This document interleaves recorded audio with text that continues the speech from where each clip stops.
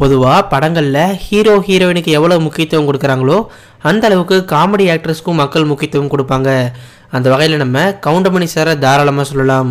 எல்லா மக்கள் மனசையுமே கட்டி இழுத்துருக்காரு எல்லாருமே சிரிக்க வச்சுருக்காரு அப்படின்னு தான் சொல்லணும்.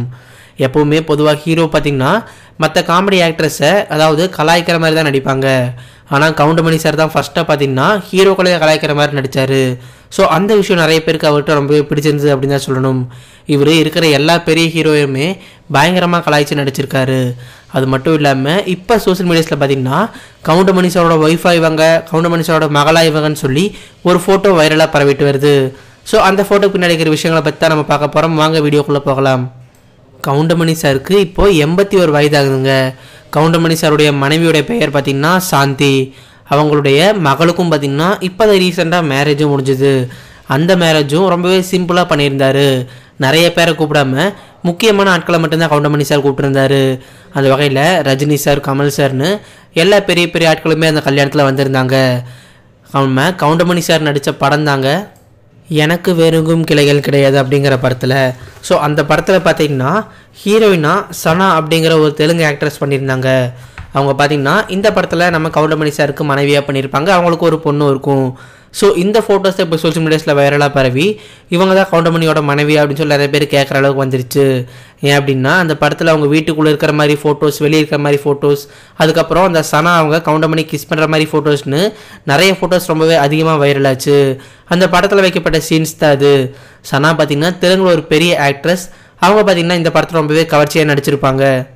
கவுண்டமணி சாரோட மனைவி மற்றும் மகள் அப்படின்னு சனாவையும் அப்புறம் இந்த பொண்ணையும் சொல்ல காரணம் என்ன அப்படின்னு பார்த்தீங்கன்னா கவுண்டமணி சார் அவருடைய நிஜ வாழ்க்கையில் அவங்களுடைய மனைவி மகளை வெளியே எங்கேயுமே யாருக்குமே அவ்வளோவா தெரியப்படுத்தவே இல்லை. ஸோ அதனால தான் நிறைய பேர் இவங்க உண்மையான மனைவி மகள் நினச்சிட்டாங்க.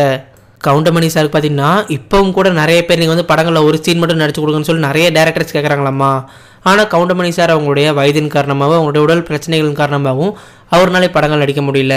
அவர் ஹீரோவாக கூட நாற்பத்தி ஒம்பது அப்படிங்கிற படம் கூட லாஸ்ட்டாக பண்ணியிருந்தார். நிறைய பேர் பார்த்திங்கன்னா அந்த படத்தை பார்த்து அவருக்கு பாராட்டுகள் தெரிவிச்சிருந்தாங்க. அந்த படத்தில் அவர் சூப்பராக நடிச்சிருந்தார் அப்படின்னு தான் சொல்லி ஆகணும் இந்த வயசில் இப்படி நடிக்கிறது ரொம்பவே கஷ்டமான ஒரு விஷயம் அப்படின்னு சொல்லி நிறைய பேர் சொல்லியிருந்தாங்க. அது மட்டும் இல்லாமல் நிறைய ஹீரோவுக்கு கவுண்டமணி சாரை ரொம்பவே பிடிக்குமாமாங்க இவருடைய காமெடிகள் எல்லாமே படத்தில் எவ்வளோதான் சீரியஸான சீன் இருந்தாலுமே அப்போ கவுண்டமணி சார் பேசும்போது பக்கத்தில் இருக்கிற பெரிய பெரிய ஆக்டர்ஸ் எல்லாருமே சிரிச்சிருவாங்களாமா. நம்ம ரஜினி சாராக இருக்கட்டும் கமல் சாராக இருக்கட்டும் நம்ம சத்யராஜ் சாராக இருக்கட்டும் எல்லாருமே அவர் கூட நடிக்கும்போது சிரிச்சிருவாங்களாமா. பார்த்திபன் கூட ஒரு இன்டர்வியூ சொல்லியிருந்தார்.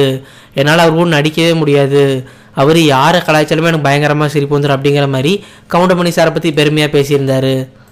இப்போ என்ன தான் நிறைய காமெடியன்ஸ் வந்திருந்தாலுமே கவுண்டமணி சார் மாதிரி யாருமே அவர் இடத்துக்கு வர முடியாது அப்படின்னு சொல்லி நிறைய பேர் சொல்லிட்டு இருக்காங்க. இப்போ இருக்கிற காமெடியன்ஸ் பேசினா யாருக்குமே அவ்வளோவா சிரிப்பு வரதில்ல ஆனால் அந்த காலத்தில் நம்ம கவுண்டமணி சார் யாராவது ஒரு வார்த்தை சொன்னாலுமே அது பயங்கரமாக சிரிப்பு வரும். அது மட்டும் இல்லாமல் அவர் கூட செந்தில் சாரும் சேர்ந்து நடிக்கும்போது அவங்க ரெண்டு பேர்த்தோட பேர் பார்த்திங்கன்னா பயங்கரமாக இருக்கும். அவங்க ரெண்டு பேரும் சேர்ந்து நடித்த எல்லா படங்களுமே சூப்பர் டூப்பர் ஹிட்டுன்னு தான் சொல்லியாகணும்.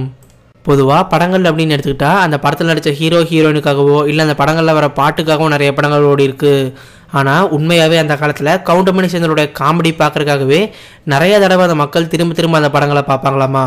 அந்த படங்கள் ஓடினதுக்கு முக்கியமான காரணம் அப்படின்னு சொன்னால் நம்ம கவுண்டமணி அப்புறம் செந்தில் சாரதா தான் சொல்லி ஆகணும். ஸோ நீங்களும் கூட இந்த விஷயங்களை பற்றியும் கவுண்டமணி சாரை உங்களுக்கு எவ்வளோ பிடிக்கும் அப்படிங்கிறத பற்றியும் முக்கியமாக அவருடைய படங்களில் வேறு எந்த காமெடி உங்களுக்கு ரொம்ப பிடிக்கும் அப்படிங்கிற உங்களுடைய கருத்துக்களை கூட கீழே இருக்கிற கமெண்ட் பாக்ஸில் நீங்கள் தாராளமாக பதிவு செய்யலாம்.